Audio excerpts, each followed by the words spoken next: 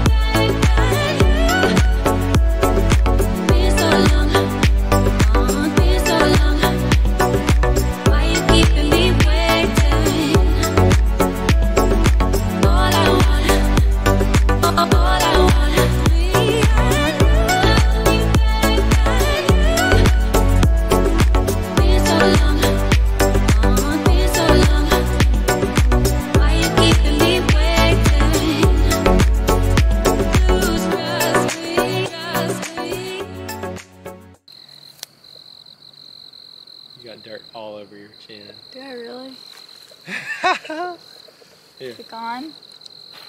so we are going to pick up this planting tomorrow. We've got most of them out. We just have some seedlings and just some pre-sprouted tubers over there still to plant and back at home we have even more seedlings and cuttings so this will be a process of over a couple days but day one we planted this entire 20 foot row. Actually, not entire. We still have like maybe five tubers that still need to go in here. I do have an entire chart and everything. That we have it all organized. So we have those tubers at home to grab and then this next bed is like half full. We'll continue working on that one tomorrow. All right, we are on day two of planting out all of our dahlias. Right now I have all of the seedlings and pre-sprouted dahlias that we have out here laid out. I still need to label the last few rows where the seedlings are gonna go and then when we go grab our other seedlings from home, we'll move on to another row, but that'll be another day. Just today we are going to be doing all of these that are laid out right now and then we should officially have all of these first two rows filled.